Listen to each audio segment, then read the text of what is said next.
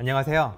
테크몽입니다. 제가 tech 유튜브 채널을 운영하면서 정말 보람찰 때가 있어요. 바로 제가 영상에서 이거 아쉽다고 좀 고쳐주세요 라고 얘기했던 게 몇 달도 안 돼가지고 고쳐졌을 때거든요. 네 지금이 바로 그런 순간입니다 제가 갤럭시 워치 4 LTE 버전이 뭐 지니 뮤직 안 된다, 유튜브 뮤직 안 된다, 카카오톡 제대로 안 된다 이런 걸로 되게 영상을 많이 올렸었잖아요. 근데 그런 것들이 몇 달도 안 돼가지고 다 고쳐졌습니다. 그래서 이번 영상에서는 갤럭시 워치 5의 출시를 맞이해서 cellular 모델의 갤럭시 워치가 블루투스보다 어떤 점이 더 좋은지 그리고 비용은 어떻게 하면 되는지 통신사별로 다 알아보고요. 주의해야 될 점하고 아쉬운 점들까지 한번 알아보도록 할게요. 그럼 지금부터 시작할게요. 먼저 갤럭시 워치 블루투스 모델하고 비교했을 때 cellular 모델이 갖는 특징부터 말씀드릴게요. 일단 cellular 모델은 제품 가격이 블루투스 모델보다 조금 비싸긴 하지만 많은 분들이 아시는 것처럼 스마트폰으로는 전화, 문자, 카카오톡까지 워치에서 다 확인할 수 있고 워치에서 먼저 보낼 수도 있고요. 네이버 페이와 같은 페이 서비스를 이용해서 매장에서 단독 결제 가능하고 스마트폰 없이도 멜론, 지니, 플로, 스포티파이, 유튜브 뮤직과 같은 음악 스트리밍 서비스를 이용할 수 있고요 그리고 워치에서 음성비서 빅스비를 이용해서 일정을 관리하거나 할 일을 추가할 수도 있고요. 속도는 느리지만 간단한 인터넷 검색도 할 수 있고 스마트폰하고 연결 안 돼도 스마트폰의 위치 찾기 기능을 쓸 수가 있어요. 근데 이런 걸 다 쓰려면 매달 돈을 내야 되거나 비싼 요금제 써가지고 워치 요금제를 지원받아야 되는 거 아니냐라고 생각할 수도 있어요. 제가 진짜 수십 명의 통신사 직원들하고 통화를 하고 매장에도 여러 번 왔다 갔다 하면서 다 확인한 내용이니까 자세히 알려드릴게요. 근데 이거 내용이 좀 기니까 셀룰러 모델의 특징부터 설명드리고 영상 뒤쪽에 다시 설명드릴게요. 먼저 통화하고 문자 서비스입니다. 워치를 cellular로 개통하게 되면 워치 번호가 따로 등록이 되거든요. 근데 그걸로 전화를 걸었을 때 워치 번호가 상대방에게 뜨면 안 되잖아요. 스마트폰에 있는 번호가 뜰 수 있도록 전화번호를 하나로 합치는 one number라고 하는 부가 서비스를 이용해 가지고 스마트폰으로 오는 전화나 문자를 스마트폰하고 연결이 안 돼 있을지라도 워치에서 받을 수 있고 걸 수도 있거든요. 그리고 여기서 data sharing이니 CMC니 wearable 요금제 이런 걸 좀 설명드려야 될 것 같긴 한데 그거는 나중에 뒤에서 몰아서 설명드리기로 했으니까 기능을 조금 따라 볼게요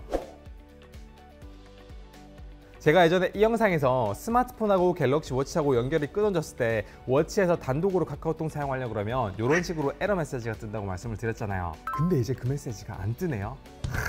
이 맛에 테크 유튜브 하는 거죠. 스마트폰하고 연결이 안 돼 있어도 카톡 내용 다 볼 수 있는 건 물론이고요. 뭐 채팅창에 들어가서 메시지도 확인하고 음성, 타이핑 혹은 터치로 메시지를 상대방에게 직접 보낼 수도 있어요 그리고 예전에는 사진 뜨는 속도나 이런 게 되게 느렸었는데 이제 그런 것도 좀 빨라진 것 같아가지고 소프트웨어적으로 되게 많이 업데이트가 된 것 같습니다. 그럼 그 다음으로 말씀드릴 부분은 단독 결제 부분이네요 사실 갤럭시 워치는 블루투스 모델이라고 해도 스마트폰하고 연결이 안 돼 있어도 티머니 같은 경우에는 결제가 가능했거든요 근데 제가 얼마 전에 갤럭시 워치에서 스마트폰하고 연결하지 않고 네이버 페이 쓰는 영상 올렸잖아요. 그때는 아마 네이버 페이 포인트만 이용해 가지고 결제가 됐던 것 같은데 지금은 이제 신용카드를 등록해 가지고 포인트를 충전하지 않고 바로 신용카드로 결제할 수 있게 그렇게 업데이트 됐습니다 그런데 여기서 조금 아쉬운 점이라 그러면 애플워치 같은 경우에는 카카오페이도 애플워치에서 쓸 수 있는데 갤럭시 워치에는 카카오페이를 지원하지 않아요. 네이버페이나 카카오페이 가맹점을 살펴보면 카카오페이가 훨씬 더 쓸만한 데가 많거든요. 예를 들면 뭐 스타벅스도 카카오페이만 되고요. 그래서 이거 빨리 업데이트 됐으면 좋겠습니다. 아 그리고 음악 앱들 음악 앱들이 원래 유튜브 뮤직도 갤럭시 워치 4 출시 당시에만 해도 유튜브 뮤직이 스트리밍으로 될 거라고 했는데 안 돼가지고 제가 아쉽다고 영상에서 말씀드렸잖아요.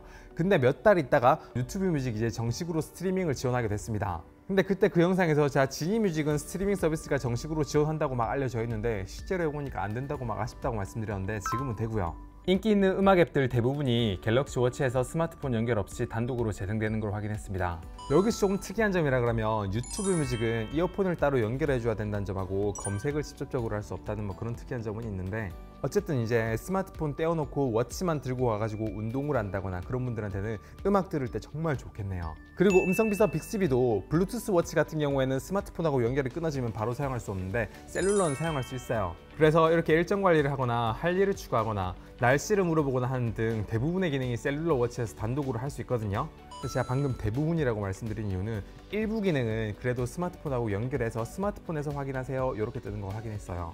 예를 들면 삼성전자 주가를 물어보니까 알려주기 싫은지 이렇게 뜨고요.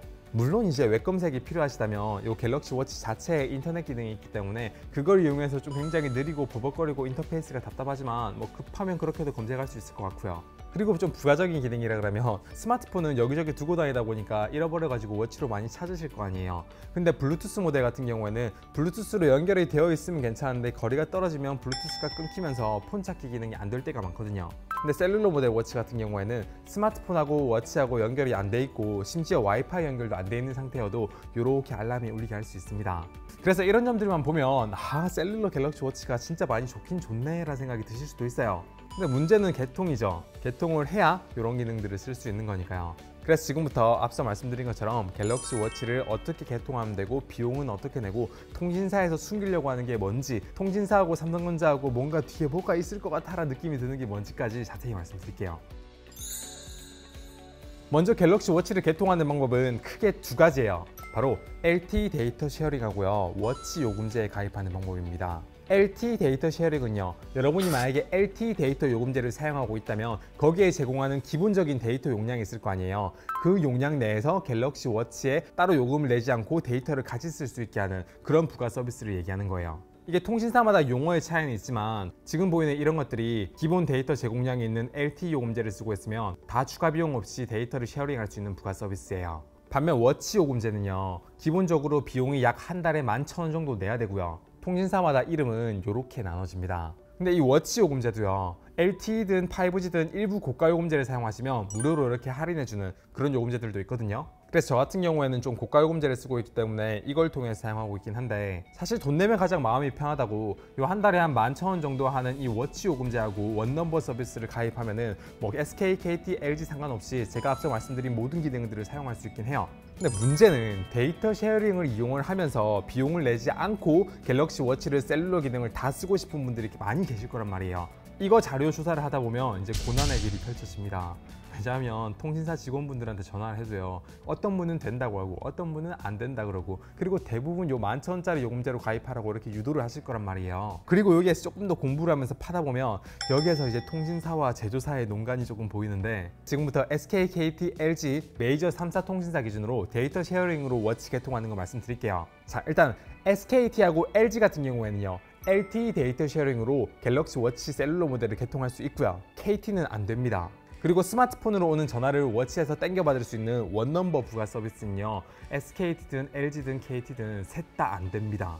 여기서 좀 조사를 해보신 분들은 어? 어떤 분들 후기 보니까 LGU 플러스에서 데이터 쉐어링으로 워치를 개통한 다음에 원넘버 서비스를 등록해가지고 스마트폰하고 워치하고 연결이 안 된 상태에서 스마트폰으로 오는 전화를 워치에서 받을 수 있던데? 라고 하실 수도 있어요. 네 저도 봤고요. 사실 저도 예전에 그 방법으로 썼습니다. 그때는 됐는데 지금 기준으로요. 제가 여기 있는 갤럭시 워치 이 제품을 오늘 날짜 기준으로 데이터 sharing으로 가입을 하고 one number 서비스를 등록해봤거든요. 근데 스마트폰으로는 전화를 여기에서 땡겨받지 못합니다. 제가 동일한 설정으로 얘는 워치 요금제에 가입된 건데 얘는 잘 되거든요 근데 얘가 잘 안 돼요. 혹시 예전에 가입하셔가지고 데이터 sharing과 one number 서비스로 갤럭시 워치를 통화 땡겨쓰기 잘 쓰고 계신 분들은 지금도 되는지 확인해 보시고 알려주시면 정말 좋을 것 같습니다. 그래서 이제는 말 그대로 데이터 sharing은 그냥 워치에서 데이터만 사용할 수 있기 때문에 음악을 듣거나 네이버 페이를 하거나 빅스비를 사용하거나 이런 건 다 되는데 전화와 관련된 기능이 안 된다는 겁니다. 근데 이걸 좀 더 공부해 보신 분들이나 요 셀룰러 모델에 관심 있으신 분들은 여기에서 통신사하고 제조사 간에 굉장히 뭔가 불편한 관계가 있지 않을까라는 의심이 드는 부분이 있습니다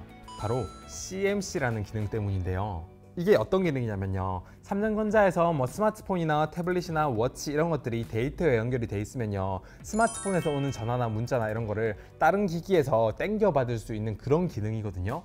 근데 이게 블루투스 모델의 갤럭시 워치에는 이 기능이 되게끔 만들어 놓고 LTE를 지원하는 셀룰러 모델의 갤럭시 워치에서는 이 기능을 뺀 겁니다. 그게 왜 뺐냐 라고 생각하면 이유가 간단하죠. SKT나 LGU 플러스 같은 경우에는 데이터 sharing으로 워치 개통이 가능하다고 했잖아요. 근데 그걸 이용하게 되면 굳이 11,000원짜리 요금제 쓸 필요가 없으니까 통신사에서 좀 어떻게 돈을 좀 더 벌어 보시려고 삼성전자한테 얘기해서 그 기능 셀룰러 모델은 좀 빼주면 안 되나요? 라고 압박이나 뭔가 뒤에서 협의가 있었던 게 아닐까 라는 생각을 하게 되는 거예요. 그래서 사실 통신사의 one number 서비스는 삼성전자 단말기 자체에서 CMC 기능을 지원하기 때문에 사실 없어도 되는 기능이거든요. 근데 셀룰러 모델에서 이 기능이 빠져서 오히려 블루투스 모델보다 더 안 좋아진 상황까지도 벌어질 수가 있습니다. 예를 들면요. 제가 헬스장에 이렇게 운동을 하러 갔는데 폰 들고 운동하면 불편하니까 워치 만 들고 스마트폰은 놔두고 갔어요 근데 헬스장에는 보통 와이파이가 있잖아요. 그래서 헬스장에는 와이파이를 갤럭시 워치로 잡으면요. 갤럭시 워치가 블루투스 모델임에도 불구하고 집에 있는 스마트폰으로 오는 전화를 갤럭시 워치에서 땡겨받을 수 있거든요. 근데 셀룰러 모델 같은 경우에는요. 11,000원짜리 그 요금제를 가입하고 one number 서비스를 가입하지 않으면은 이 CMC 기능이 셀룰러 모델이 없기 때문에 워치에서 스마트폰으로 온 전화를 땡겨받을 수 없다는 얘기예요 그리고 여기에 또 하나 불편해 보이는 점이 하나가 있다면요. 요즘 5G 요금제에 가입하신 분들이 2,400만 명이 넘었다고 하더라고요. 근데 그분들은요, 앞서 말씀드린 LTE 데이터 sharing을 사용할 수가 없습니다. LTE 데이터 sharing은 LTE 요금제를 사용하시는 분들이 무료로 데이터를 sharing할 수 있는 부가 서비스인데 5G 요금제에서는요, 5G 데이터 쉐어링을 해야 되지 LTE 데이터 sharing이 안 되게 돼 있어요. 근데 5G 데이터 쉐어링이 한 달에 5천원씩 추가 요금을 내야 되는데 이걸로 갤럭시 워치 개통은 안 된다는 게 또 문제예요. 그럼 어떻게 하겠어요? 결국 11,000원 내라는 거죠. 뭐 저처럼 뭐 이런저런 테스트 하려고 애초에 고가 요금제 사용하시는 분들은 모르겠지만 5G는 한번 써보고 싶은데 좀 저가 요금제를 쓰면서 워치를 써보고 싶다 그런 분들한테는 어, 굉장히 이 부분들이 불편할 수 있을 것 같은 현실이에요 제가 이번 영상에서 말씀드리려고 했던 결론이나 내용들을 조금 정리하자면요 갤럭시 워치 폰은 출시 초기 때랑 비교했을 때 지금이 진짜 많은 부분이 업데이트 돼가지고 셀룰러 모델에선 되는데 블루투스에서 안 되는 기능들이 정말 많이 늘어났어요 뭐 그래도 아직까지 특별한 사용 목적이 아니라면 한 달에 만천 원의 유료 요금을 내면서까지 사용할 정도의 기능이라 그러면은 어 저는 아닐 것 같은데 그런 분들이 있으실 수도 있을 것 같다는 생각이 이제는 들고요. 그리고 여러분들이 LTE 요금제를 쓰고 있으신 분들은 LTE 데이터 sharing을 이용해 가지고 워치를 이렇게 셀룰러 모델로 개통하게 되면 꽤나 많은 기능들을 셀룰러로 이용할 수 있기 때문에 그런 분들한테도 초기 비용을 조금 더 내서 워치 셀룰러 모델을 하는 것도 뭐 나쁘지 않은 선택이라고 말씀드릴 수 있을 것 같아요. 다만 이 영상을 지금 올린 이유가 여러 가지 이유가 있겠지만 갤럭시 워치 5가 이제 출시가 얼마 안 남았잖아요.